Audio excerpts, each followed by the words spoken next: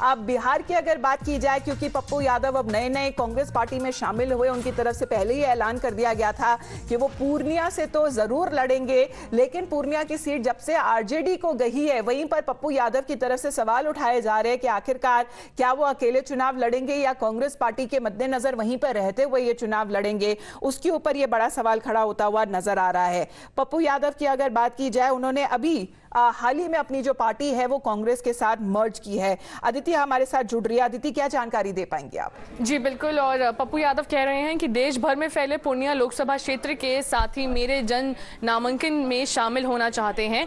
उनकी सुविधा के लिए पूर्णिया की महान जनता द्वारा प्रस्तावित नामांकन तिथि दो अप्रैल की जगह चार अप्रैल हो गया है। आप सब इसमें शामिल हो, आशीष दें। बिहार में आईएनडीआई गठबंधन के बड़े भाई आरजेडी के प्रमुख आदरणीय लालू जी से पुनः आग्रह की वह गठबंधन हित में पूर्णिया सीट पर पुनर्विचार करें, कांग्रेस के लिए छोड़ दें। धन्यवाद आपका, आदित्य, हमारे साथ जुड़ने के लिए। सभ्य साची से किस तरह से समझा जाए? क्योंकि वो आरजेडी से तो रिक्वेस्ट तो कर रहे, अपील कर रही है कि रिकंसिडर करिए, लेकिन नामांकन भरने की भी बात कर रहे हैं आप चार तारीख को।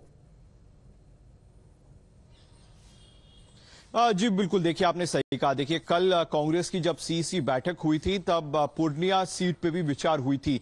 पूर्णिया सीट पे कांग्रेस का यह कहना है कि आने वाले दिन में वो आरजेडी के जो टॉप लीडरशिप है, उनके साथ विचार विचार समझ करेगी पूर्णिया सीट को लेके। क्योंकि देखिए, पप्पू यादव का लगातार ये कहना है कि वो पूर्णिया सीट से लड़ेंगे और चार अप्रैल को जो है, वो अपना नामांकन करेंगे पूर्णिया से। वहीं जब पप्पू यादव कांग्रेस में अपनी पार्टी को मर्ज कर रहे थे देश की राजधानी दिल्ली में। उसे ठीक है, एक दिन पहले वो आरजेडी के बड़े नेता तेजस्वी यादव और लालू प्रसाद यादव से भी मुलाकात की और पूर्णिया सीट के ऊपर विचारधारा रखी। हालाँकि हमने देखा कि आरजेडी के तरफ़ से पूर्णिया सीट पे आरजेडी ने अपनी कैंडिडेट का नाम जो है, वो घोषणा कर दिया है। हालाँकि पप्पू यादव की तरफ़ से ये रिक्वेस्ट किया जा रहा है। आरजेडी को कि यह पूर्ण विचार करे पूर्णिया सीट को लेके और जो आरजेडी के कैंडिडेट है उनका नाम वापस ले और कांग्रेस का कैंडिडेट को बताया जा रहा है कि आज की भी होने वाली सीईसी बैठक में इसके ऊपर चर्चा हो सकती है पूर्णिया को लेकर लेकिन पप्पू यादव पहले से ऐलान कर रहे हैं कि चार तारीख को नामांकन ना भरा जाएगा लेकिन ये अपील भी करते हुए नज़र आ रहा है आरजेडी को कि पूर्णिया सीट पर दोबारा विचार